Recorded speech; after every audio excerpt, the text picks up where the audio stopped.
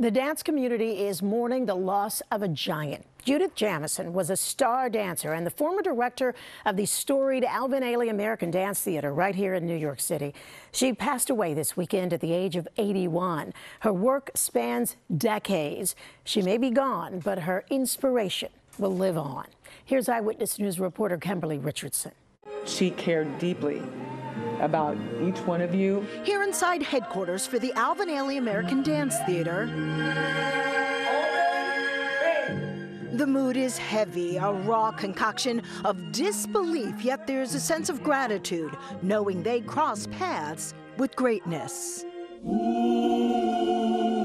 After a brief illness, Judith Jamison passed away Saturday. She was just 81 years old her deep, deep faith really gave her wings and it also gave her roots.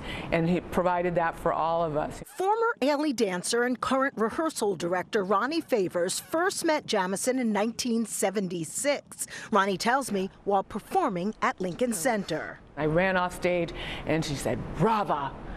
And that was my introduction to Judith Jamison. Jamison joined the world-renowned dance company in 1965, was one of its most celebrated members. In November of last year, during what would be one of her final interviews, she told me about stepping on stage for the first time for Revelations. And as soon as I got on stage and the music is like filling on that doom doom doom doom doom doom doom doom doom so I came running out, my face was like this, I'm like, after Mr. Ailey's passing in 1989, Jamison felt it was her duty to carry out his mission to educate, entertain, and uplift. At the end of a performance, when people go crazy and they're applauding or they're just they're stunned, that's when I get you. She created the representation and she made a path wide enough for other people to walk through too and be able to see themselves. She could hold the audience in the palm of her hand with her words, not only her movement, but just with an eye movement or, or a pithy remark.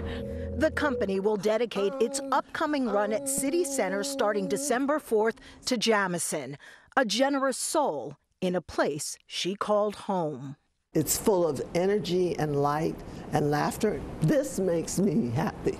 Kemberly Richardson, Channel 7, Eyewitness News.